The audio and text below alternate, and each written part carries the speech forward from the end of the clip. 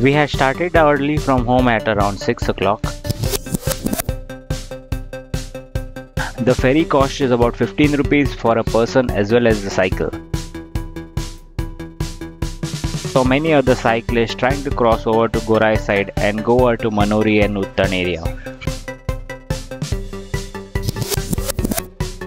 Gorai is a good escape away from the hustle and bustle of Mumbai.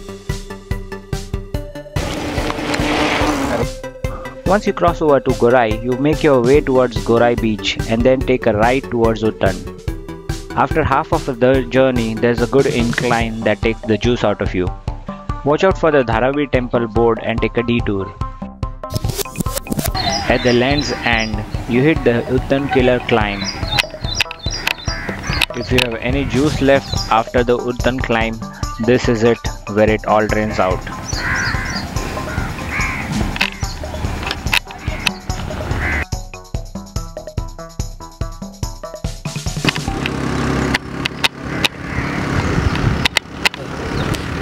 We then made our way towards Dharavi Fort.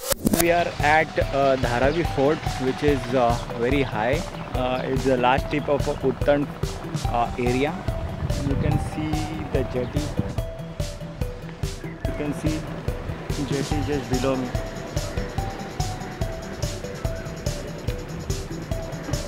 That's that's Bhayandar uh, marshland. Over there opposite is Vasai.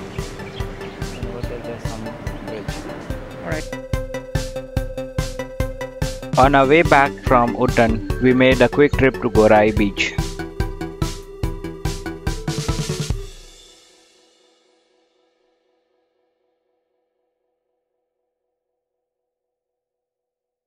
For more cycling videos and trips, don't forget to subscribe to my channel Udy Graphie. See ya after. Happy riding!